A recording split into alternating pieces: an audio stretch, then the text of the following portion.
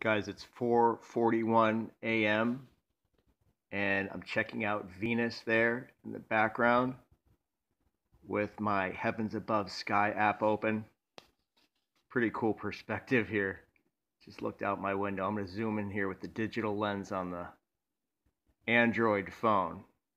You can see Venus in to the left of your screen, that white point of light coinciding exactly with the app. It's really cool. You got to have your GPS on for looking at visible satellites. Then you can click on a visible satellite, like we've got SkyMed 2 here. Click Info, and it'll tell you all about the satellite. This was launched in 1996 from Vandenberg Air Force Base. After recording that video, guys, I pulled out my optical zoom, which attaches to the Android phone. Picked this up on eBay from China. Advertised eight times magnification.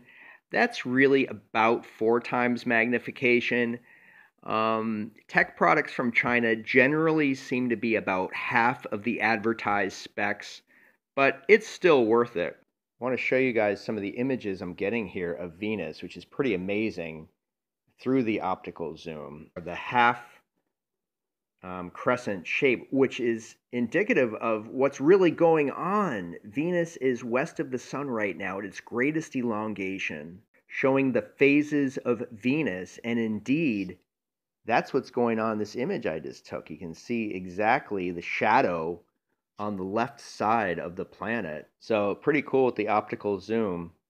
And uh, yeah, I got a couple good images of Venus here.